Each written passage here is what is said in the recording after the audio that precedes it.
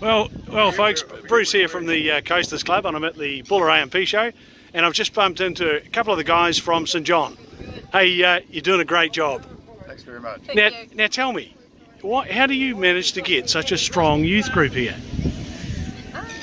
I mean, you've got over 60, haven't you? Yeah. Last count. There's a keen young kids. Um, can I get you both to shift to Hokitika? No, Oh, come on. Don't. So it's all pretty quiet today? So far. today. Yeah.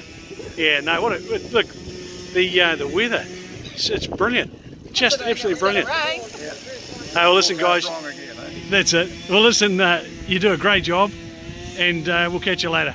All right. Thank you.